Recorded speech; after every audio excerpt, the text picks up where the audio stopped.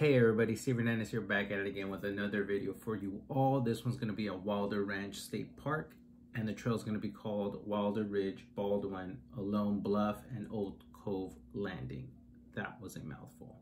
If you guys are new here, my name is Steve Hernandez. I post videos here once a week, mainly about my reviews on hikes and the details about it, but I'm also going to be incorporating food just because I personally, I love food and I love to treat myself after that. And if anything that I said is interesting towards you or you like it, really appreciate a like, a comment, and subscribe. Hit the notification button. You know, you're not going to want to miss whenever I do my food reviews as well. But without further ado, let me get to the video again. This is a Wilder Ranch State Park. The trail is called Wilder Ridge, Baldwin, Ohlone Bluff, and Old Cove Landing. And wait till the very end. That's where I get into details of it, how long it was, my thoughts on it. And if you like what you saw, um, I can give you a quick breakdown of what you will experience if you do decide to do this hike. Well, I hope to see you at the end of the video. Enjoy it.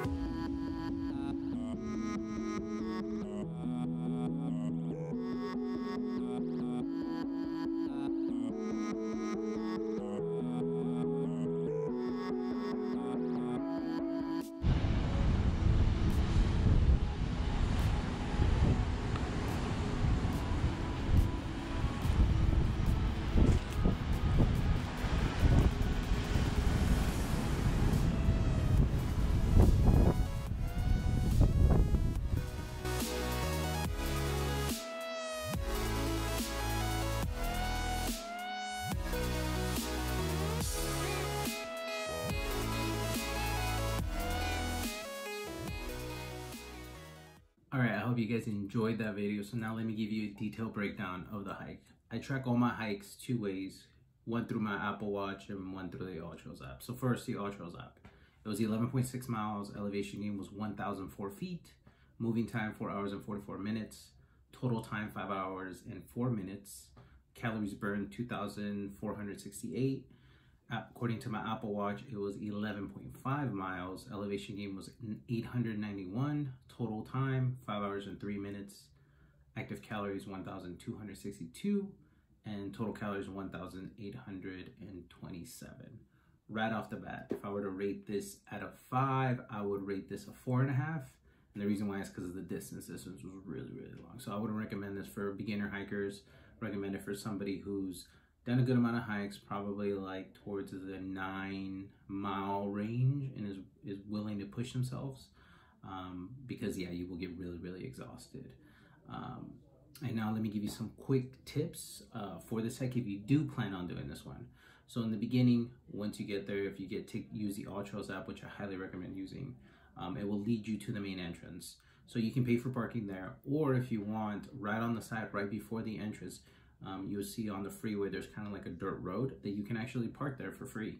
Um, so it's your choice whether you, whatever you want to do. You can either go inside uh, the parking and pay for parking designated parking areas, or you can park on the dirt road and you just have to cross the freeway real quick. I know it's kind of dangerous, but it's really it's really not that dangerous if you're going early enough. There's not that many cars, so you just kind of got to cross the freeway real quick. It's only like a one laner each way, and then you kind of get down in the beginning of the hike and you can begin it there.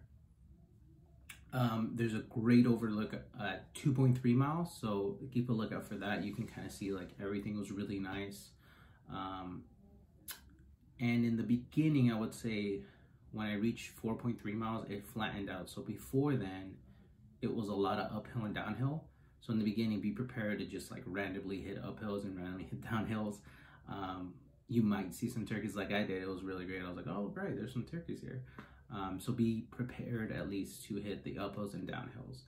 Um, also be careful because the trail at some point gets really, really narrow and there's a lot of bikers that use this trail as well. So you'll realize it too. Just the the walkway gets super short just for a bike, but you have to walk through it real quick. It's probably like a a mile mile walk that you're using the bike lane. So just be careful for for sound and noises because they come in fast and sometimes you may not hear them if you had iPhone or AirPods or headphones or you're listening to music. So I personally wouldn't use any music and just like enjoy the nature and then you can hear the bells because they, they obviously don't want to run you over as well. So gives you a little bit of warning on that. Um, when you get to the beach.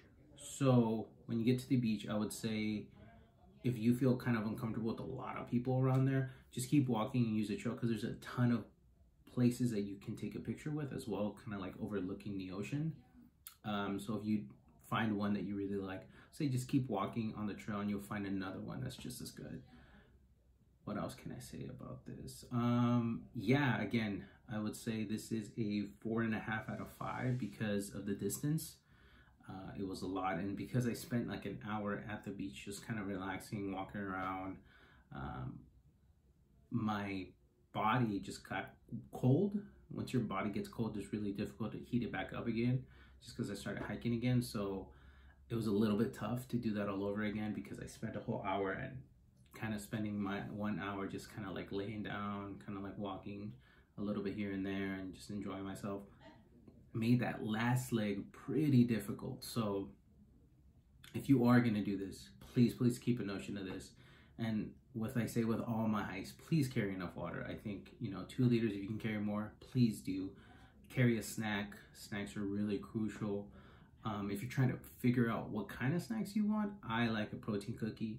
I like um, eating that because it's really high in fiber and I usually eat that around probably the middle of my hikes because uh, I start getting hungry even though I kind of like eat a breakfast like I eat overnight oats that I that I make uh, the night before. I eat that in the morning and then when I'm hiking I'll drink water and then I'll eat my protein cookie. And that protein cookie is a lifesaver honestly. So highly recommend using that because usually in the middle of my hikes I start getting a little bit fatigued or I start getting hungrier hungry. And then uh, that really really just kind of like stabilizes me and just allows me to keep on going and you know just stopping little eating just helps you and gives you the energy to finish the hike. Um, also at the end of the hike or the beginning of the hike because it's a loop um, there are bathrooms. So if you need to use a bathroom you have a bathroom there as well. Um, what else can I say about this? This was probably yeah this is probably one of the more difficult hikes. So I wouldn't again wouldn't recommend it for somebody who's just starting out um, I would recommend it for somebody who's done eight plus mile hikes, nine plus mile hikes, um, because it's just long and it leads to the beach. Um, yeah, so if you guys reach to this point, I really appreciate it. Really appreciate a like, comment, and subscribe again. Also, go check out my other social media accounts, Steve Doctor Hernandez SJ. I post edited pictures there every week, pictures that you won't be able to see in the video because obviously this is YouTube. Um, so you can go check that out as well because there's some beautiful pictures that I take. I'm surprised, honestly. Surprised what iPhone cameras can do sometimes. Uh, but I appreciate you and I hope you have a great rest of your day.